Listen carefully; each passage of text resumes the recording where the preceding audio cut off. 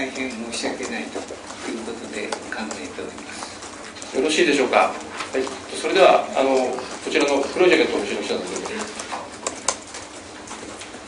えー、日本インターネット新聞社の田中隆作と申します、えー、2点だけ、えー、勝俣会長にお伺いいたします、えー、事故当時、えー、会長はマスコミ幹部を引き連れて、えー、中国旅行に出かけていたと、えー、与党の国会議員があ言っております、えー、この旅行は、えー、東電持ちだったのでしょうか。これが一つ。でもう一つ、えー、避難先ほどあの会長はこの記者会見で、えー、避難所に職員を出しているとおっしゃってましたが、えー、南相馬市今あのメジャー注目が見てる南相馬市には電話一つ来てないそうです。東電さんから。でもちろん職員も来てないと。で、えー、これは、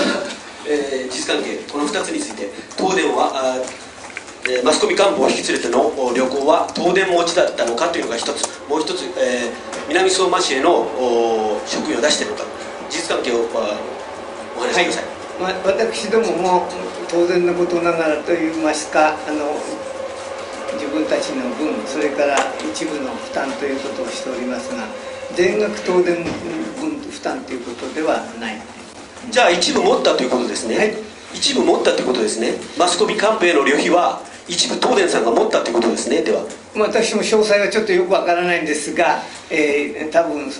多めには出してると思う自分たちの分よりも少しは増えてると思うこれはあれですよあの今マスコミと、えー、東電の癒着が、えー、随分国民の間に、えー、不信感がられてますがこれじゃあお認めになるわけですね癒着を。あの東電幹部あのマスコミ幹部ということは若干ちょっと違いまして。誰ですか編集員ですか？いやいやもうみんな OB の方々の、まあ、どちらかというと研究会勉強会の方々ということであります。じゃあこれ具体的に名前明かしていただけませんか？七里テレビのなんとかさんとか。いやこれはもう私のその